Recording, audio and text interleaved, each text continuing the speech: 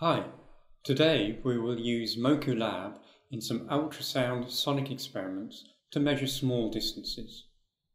Moku Lab implements up to 12 instruments in one reconfigurable device. We will use the rapid reconfiguration of the instruments and today we will use four of them. We will use the frequency response analyzer, the oscilloscope, the waveform generator, and finally the phase meter. Firstly, we will characterize the frequency response of the transducers and sound path through the air. Secondly, measure the distance with the time of travel of a reflected pulse of sound. Thirdly, make a very precise measurement by measuring the phase changes of the reflected ultrasound signal. Here is our experimental setup. Together with Moku Lab, we have an ultrasonic transmitter and receiver mounted on a rail with a belt driven by a servo motor. The position can be finely adjusted by the belt driven by the servo motor, capable of 1.8 degree movements. With 30 teeth on the pulley and a belt with 2 mm pitch, the servo steps correspond to 0.3 mm so we can adjust the distance with a great deal of resolution. The first question that arises, what is the frequency to use them at? To figure this out, we are going to use the frequency response analyzer of Moku Lab. This will plot the power attenuation of the entire path from the transmitter input through the air transmission medium bouncing off our acoustically reflective target and back to the receiver. The transmitter is connected to the swept sine wave output of Moku Lab, the receiver to Moku Lab's input. Let's launch the Frequency Response Analyzer instrument. It takes just a moment.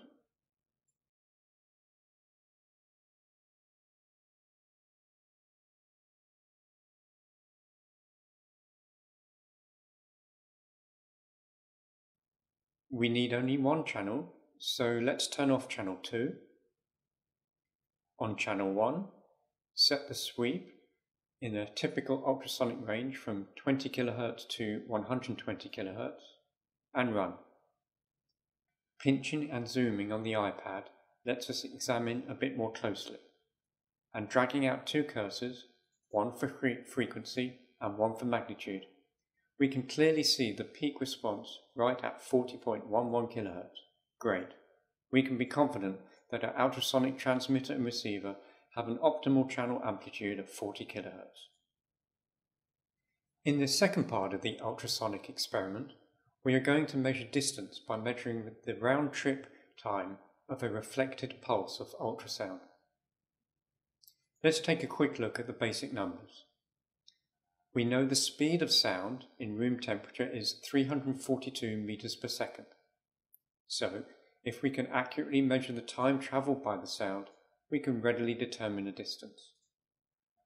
Now we need to think about setting up the transmission of the ultrasound.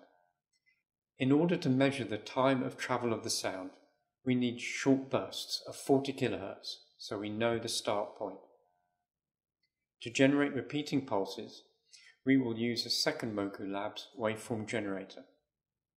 While the first Moku Lab operates as an oscilloscope, and measures the time of delay from the pulse being transmitted to the pulse being received. Okay, let's set up the experiment. Using a blue Moku Lab, we will run the waveform generator instrument and then configure channel 1 to be an output 40 kHz sine wave. We select the N cycle mode and this enables 10 cycles of 40 kHz every 100 milliseconds. Using the same iPad, let's switch back and control the black Moku and configure an oscilloscope instrument. We want to examine the transmitted pulse of ultrasound and observe the delayed pulse, the reflected signal at the receiver. And right away we see the transmitted signal in blue on channel 2 and the reflected signal in red on channel 1. Let's drag a cursor out to the peak of the reflected signal we're going to move 300 steps or 90 millimeters. Recall, one step is 0.3 millimeters. As the transducers move closer to the target, the reflected signal delay reduces, as can be seen on the red trace. Also, the amplitude increases as we would expect. Once the servo stops, we drag another cursor to the new peak at 1.452 milliseconds, and Moku oscilloscope shows us the time delta of 520.1 microseconds. Let's calculate the distance from the time of travel of, of the reflected wave, and we see this gives us a distance of 88.9 millimeters. This agrees well with our estimate of 90 millimeters. In the previous experiment, we measured a distance changed to an accuracy of a few millimeters using the round-trip delay of a pulse of ultrasonic sound. But you really cannot measure fewer than a few millimeters without much precision. A phase meter is an instrument that accurately measures the phase of a signal. Moku Labs phase meter tracks and records the phase, frequency and amplitude of two independent signals, and it can do so with a precision greater than 6 microradians. So how can the phase meter measure small, even quite tiny distances? Our ultrasonic sound at 40 kHz travels at 342 meters per second, Thus, one wavelength is 7.77 millimeters. If we can measure the phase of the reflected wave, we can measure distance well below one wavelength. The Moku Lab phase meter not only measures phase with very high precision, it also accumulates or integrates these measurements, so we can observe the distance as it changes. So, let's set up Moku Lab's phase meter. First, configure the output to 40 kHz, 1 volt peak to peak, and turn it on. Now, looking at the phase meter input channels, we set up the input frequency to 40 kHz. This is the frequency at which the phase meter will attempt to lock. Setting 1 volt peak to peak input range, and almost immediately we see channel 1 locks. Let's switch to phase and bring up the time series logger. Now, as the transducers move away from the target, we can see that the phase cycle count steadily rises.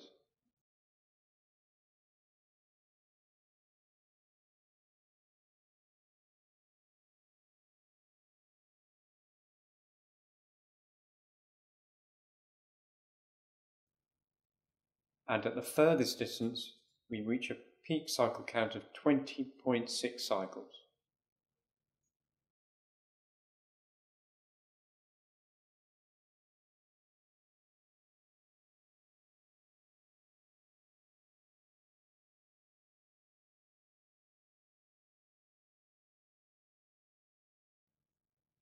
And returning to the start point, the cycle count is very nearly zero.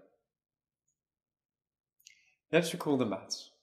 The distance is one half cycle count times the speed of sound over frequency.